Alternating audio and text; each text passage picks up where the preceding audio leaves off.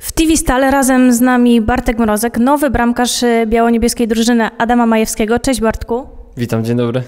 Y, Bardzo miło mi przywitać Cię w biało-niebieskich barwach. Y, Za Tobą pierwszy trening z chłopakami.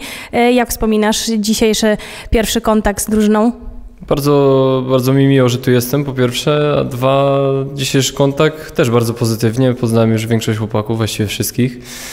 Pierwszy trening za nami, także będziemy pracować i przygotować się do najbliższego meczu. Czy z którymś z zawodników y, Adama Majewskiego miałeś wcześniej y, kontakt lub miałeś y, sposobność grać razem z nimi?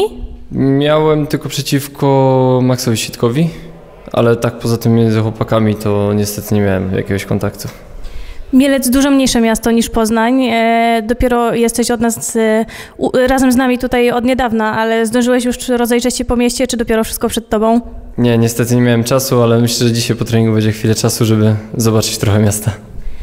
Pierwsze spotkanie to Śląsk-Wrocław. E, w twojej opinii jakiego spotkania możemy się spodziewać? Ciężkiego spotkania. Myślę, że to będzie dla nas trudny mecz, ale mam nadzieję, że zwycięski.